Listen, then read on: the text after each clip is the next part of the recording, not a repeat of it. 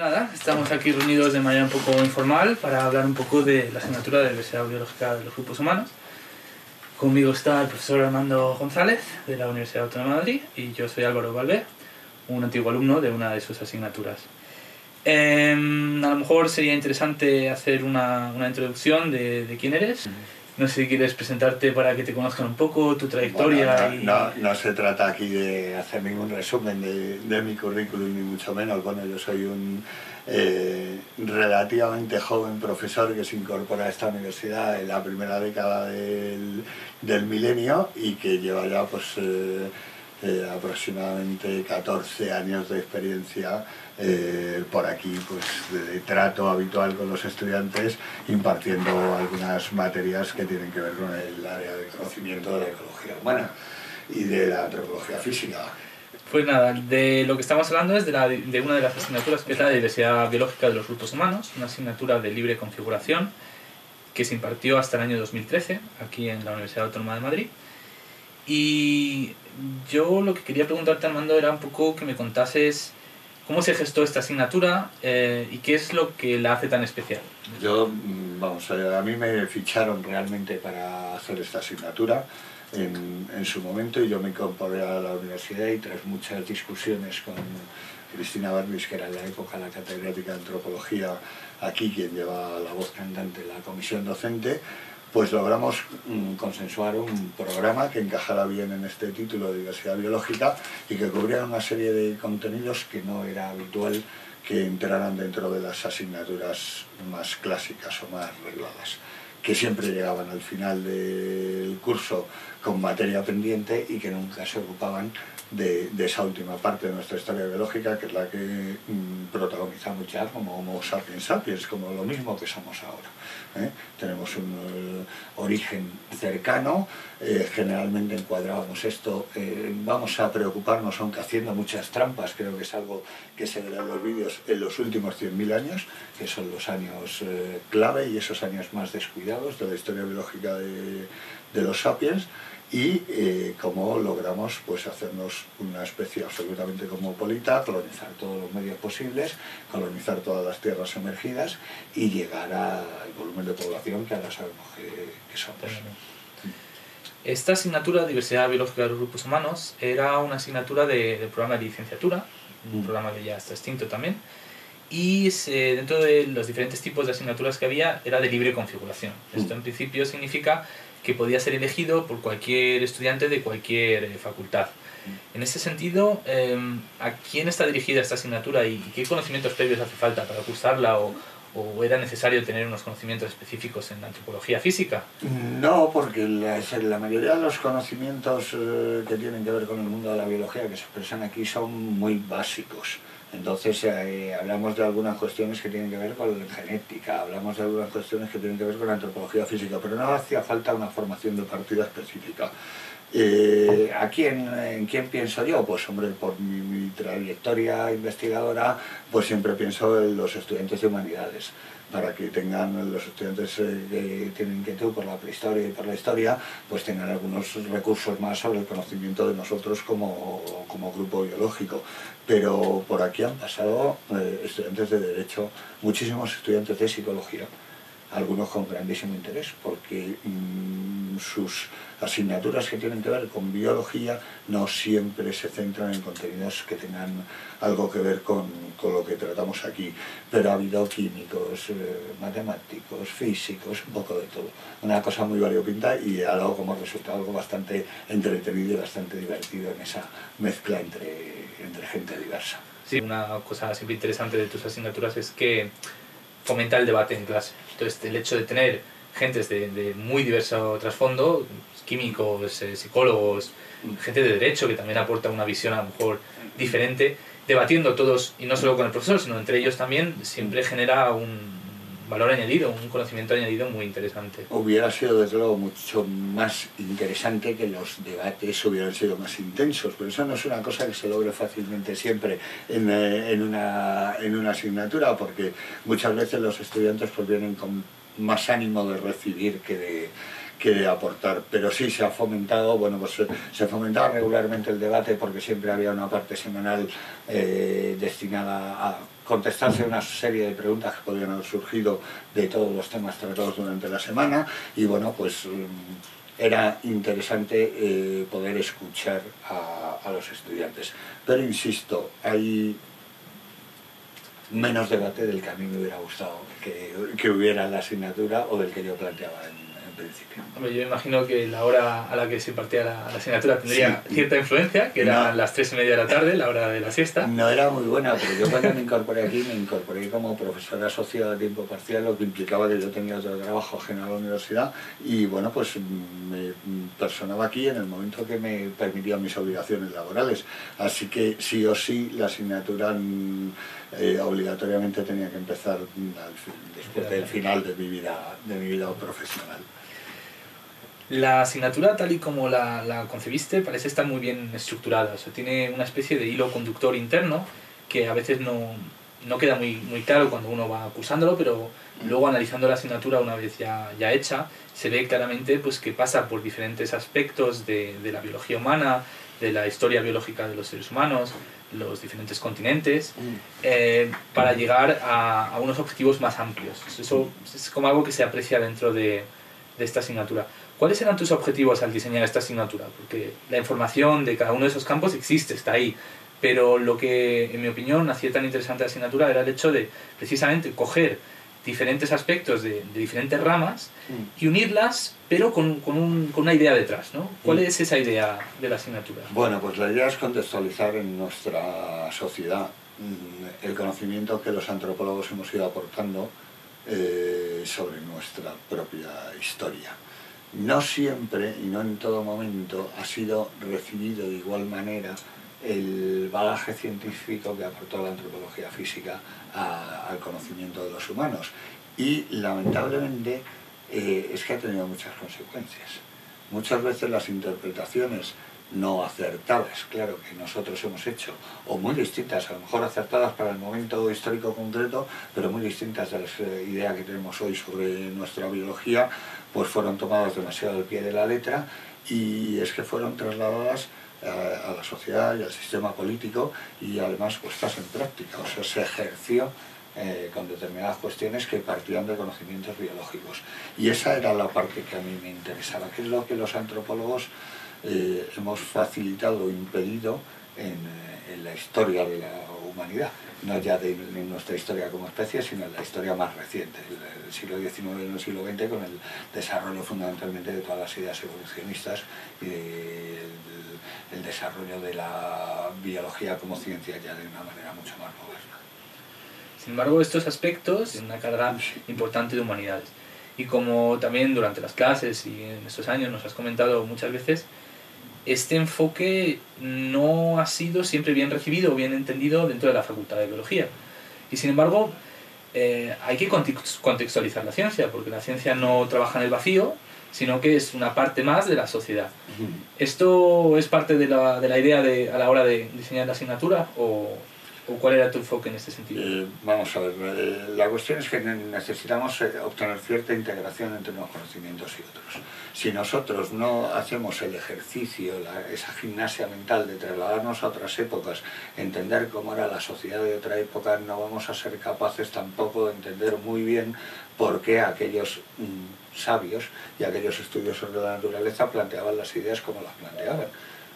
Entonces, a mí lo que me gustaba era retomar esa historia de la biología, en cierta manera, esa historia de la antropología y llevarla de la mano de la historia social. Claro, porque una de las cosas que llaman la atención cuando uno va cursando la asignatura de diversidad biológica de los grupos humanos es eh, precisamente que se hacen muchas referencias a, la historia religiosa de Occidente y a la religión.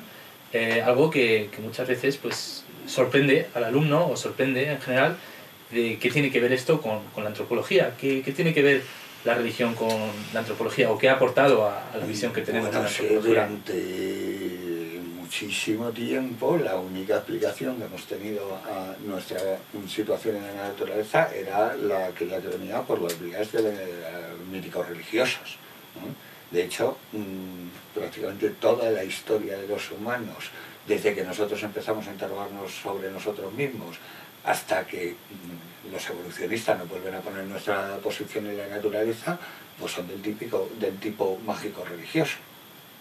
Entonces, eh, ese mito, evidentemente, hay que contemplarlo por mucha sorpresa que causa a los estudiantes. Yo sé que eh, algunas de mis mm, eh, explicaciones, aludiendo sobre todo a nuestra tradición religiosa, que es la que mejor puedo conocer, pues son sorprendentes. hablar de los Reyes Magos como representantes de la diversidad biológica conocida en la época, pues puede ser chocante. Eh, sí, pero ¿por qué no se va a haber fijado esa idea en algún tipo de mito en el que eh, podamos reflejar una realidad que conocemos, pero que conocemos por otras vías? En mi experiencia personal, al pasar por, la universidad, por la Facultad de Biología, por la carrera o la licenciatura de Biología, fue que se prepara mucho a los alumnos eh, a resolver problemas. tenemos una cierta cantidad de horas de laboratorio, tenemos una cierta cantidad de asignaturas que nos explican cómo son las cosas, cómo se resuelven, pero muy pocas en las que haya un espacio para debatir, para hablar de cosas que a lo mejor se salen un poco de los contenidos inmediatos. ¿no? Eh, es algo de lo que se pide en general en, la educación hoy en día, ¿no? de, ser más integradora, ¿no? de no focalizarse en transmitir conocimientos, que a día de hoy están en todas partes, cualquiera puede encontrar vídeos sobre este tema en la red, sino de crear un espacio donde analizar esos contenidos y poder discutirlos tanto si son temas más humanistas como si son más eh, puramente científicos. Pero yo quería preguntarte, ya más personal, eh, ¿qué esperanzas tienes de cara a los contenidos de esta asignatura? ¿Qué, qué deseas que pase con estos contenidos? ¿O ¿Cuál sería tu, tu esperanza? Mira, a mí me gustaría que se consultara, que se consultara de momento que esté en un soporte en el que no se pierda y bueno, pues hoy eh, probablemente los soportes digitales y las tecnologías de la información proporcionan las posibilidades de que esto esté en un formato un poco diferente al clásico que hubiera sido hacer un manual o hacer un libro. También nos podríamos haber planteado eso y bueno, le hemos querido dar este otro eh, ambiente más dinámico y ojalá siguiera vivo, es decir, que no dejáramos de hacerlo evolucionar porque realmente esas cosas eh, cambian mucho con el tiempo, la actividad científica frenética, los cambios en cuanto al conocimiento de la biología humana se dan eh, casi casi a diario, entonces eh, merecería actualizaciones periódicas. cada cierto tiempo merecería un, un nuevo apéndice, un nuevo conjunto de, de, informaciones para actualizar lo que, lo que sabíamos en la época y de lo que hablábamos en la época. Porque por un lado está lo que tú querías generar con esta asignatura, tú ensamblaste los contenidos con esta idea que tenías de qué es lo que quieres transmitirle al alumnado. Y ahora te voy a preguntar sobre cuál es tu opinión o lo que tú crees que eso, esa asignatura realmente ha aportado a los alumnos. O sea, yo sé, por ejemplo, que hay varios eh, métodos que están instalados en la facultad para evaluar las asignaturas, donde los alumnos dan su opinión. ¿Qué te han transmitido? ¿Qué es lo que les ha quedado realmente? ¿Qué es lo que al final no, no, ha calado? No tengo claro qué, les ha quedado los estudiantes. Sí sé que las opiniones que se han recogido pues, en esos instrumentos que tenemos para medir el buen hacer de los profesores, pues bueno, yo he sido siempre valorado muy bien y esta asignatura ha tenido mucho éxito en las encuestas de actividad docente. Así que yo estoy contento con esa buena recepción. Yo espero haber contribuido sobre todo a una cosa, ese hubiera sido mi objetivo eh, general, que es haber despertado más interés por la historia biológica de los humanos a los estudiantes. Ya digo que en un edificio en el que hay eh, tanta gente especialista en biología molecular, en genética, en técnicas de esas tan modernas y tan de actualidad y que tienen unas aplicaciones prácticas increíbles porque pueden ayudarnos a resolver grandísimos problemas de salud, en fin, para cosas básicas para nuestra propia existencia individual y colectiva. Yo solamente quería despertar interés eh, sobre el conocimiento de los propios humanos, como grupo y como especie. Entonces creo que eso se ha conseguido si eh, tengo como medida esas encuestas de actividad docente. Y si realmente pues yo me conformo con que de vez en cuando, cuando los informativos aparece alguna grandísima novedad, se ha descubierto gran hallazgo, nuevo gran hallazgo africano, una nueva especie de hominio, eh, que se acordaran de, esta asignatura. A mí con eso me sería suficiente, ¿no? Cuando aparezca una nueva evidencia genética de que tal grupo y tal otro estuvieran en contacto o se mm, revise la cronología de la colonización de determinado territorio en el mapa mundi, pues con que ellos se acordaran de haber estudiado alguna cosa de esas. Yo hace nada, esta semana he estado desenterrando unos papeles de trabajo de fin de, de carrera en su día, ¿no? Y, y veo que, hay cosas que ya no entiendo. Hmm. Eh, sobre todo estadística, ¿no? Son cosas que una vez que ya no se usan, se pierden rápidamente. Pero una de las cosas bonitas de, de la asignatura de diversidad biológica de los grupos humanos es que como tiene una parte de reflexión y de autocrítica, también una, una, un componente muy importante de autocrítica sobre la ciencia. Y yo creo que eso es algo que se olvida difícilmente. ¿no? Esa, darse cuenta de, de, que, de cuáles fueron los, grandes errores de interpretación del pasado de otros científicos, yo creo que ayuda a, a, desarrollar esa capacidad de ser crítico, de autocrítica, de, de, plantearse si las conclusiones a las que estoy yo llegando eh, son realmente las conclusiones que se derivan de los hechos en sí, o si yo estoy metiendo ahí mis interpretaciones personales, subjetivas, como individuo que vive en una sociedad concreta, con unos valores concretos, con un pensamiento concreto, que no es científico, sino que no, me, lo, me lo da la, la, sociedad. Yo creo que eso era un punto importante en la asignatura y yo metería la mano en el fuego que si preguntásemos a los antiguos alumnos, seguramente se acuerden menos de cómo se llama el fósil KNN seguro. 1300 y seguramente más eh, esa impresión general de, de, qué es la ciencia, cómo debería actuar. No, evidentemente aquí todos somos gente de nuestra época, no podemos desligar el pensamiento de ningún personaje que haya tenido relevancia en todo el mundo de estos estudios sin contextualizarlo en su momento histórico. Y, son muchísimos los ejemplos de eh, personas, estén o no dentro del con los contenidos de la asignatura, pues que en su época fueron difícilmente comprendidas. porque no era aceptable para el pensamiento de su momento aquello que estaban proponiendo como una idea científica. Y al contrario, ideas científicas que se proponen y, tardan mucho en ser revisadas más de lo que deberían haber tardado y están vigentes demasiado tiempo, cuando realmente hay un conocimiento que sirve para uh, cambiar esa manera de pensar. A mí ya solo me queda una pregunta, que es una pregunta a lo mejor más de marketing. Eh, la gente a día de hoy está saturada de información y la asignatura, al menos tal y como me gustaría proyectarla a mí personalmente, sería una asignatura larga. Entonces, ¿por qué habría de estudiar alguien esta asignatura? si ahora mismo tuvieras que convencer a un posible alumno que estuviera aquí, entre toda la oferta de, de cursos que hay, ¿por qué habría de estudiar diversidad biológica de los grupos humanos? ¿Qué le dirías o cómo venderías tu asignatura? Mm, eh, venderla, venderla es difícil. Yo tengo además eh, muy, muy poco desarrollado el espíritu comercial, entonces yo iba a tener muchas dificultades para vender cualquier cosa, por muy buena que fuera. Pero yo creo...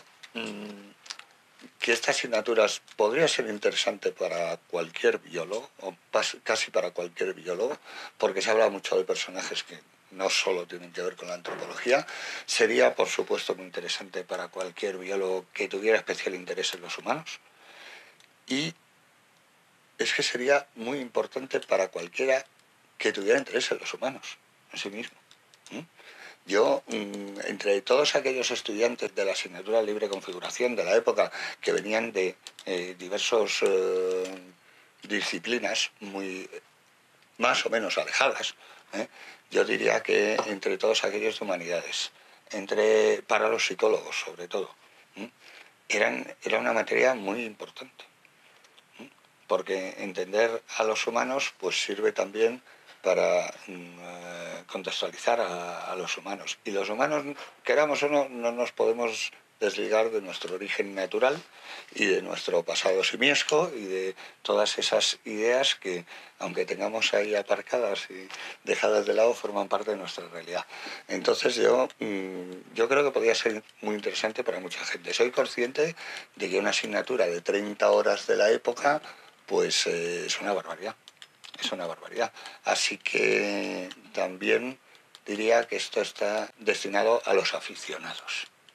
Es decir, a esa gente que no necesita un resultado inmediato de seguir un programa de contenidos, sino que lo que quiero es disfrutarlos. Entonces, mm, simplemente, antropología para aficionados, historia biológica de los humanos para aficionados. Igual ese sería el mejor lema. Mm. No sé si tú quieres hacerme alguna otra pregunta. No, no, a mí ya sabes que me, eh, como decía, que me llena de orgullo y satisfacción el, el, que hayas tenido esta iniciativa. Me encanta que estos contenidos no se pierdan y bueno, pues esperemos encontrar el formato y la manera de que esto pues quede ahí para quien tenga interés. Perfecto. Pues muchísimas gracias. Gracias, Álvaro.